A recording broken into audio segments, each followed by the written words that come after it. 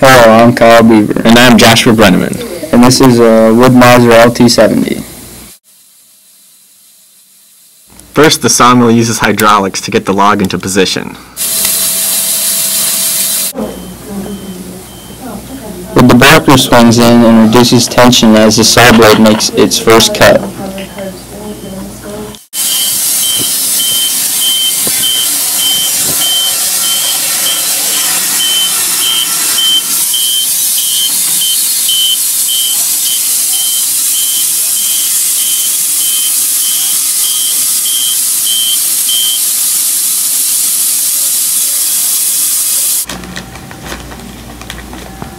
After the cut is made, the saw is raised and retracted, removing the sawn board with it.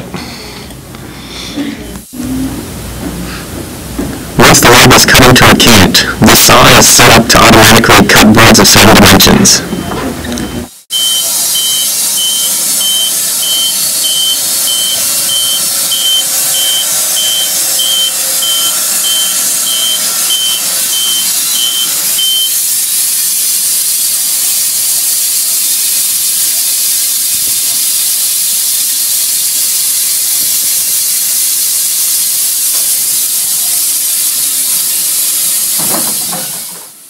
Toast jelly of my.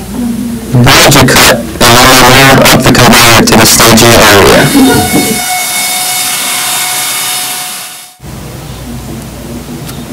Board boards move through the edge area that are cut to board dimensions.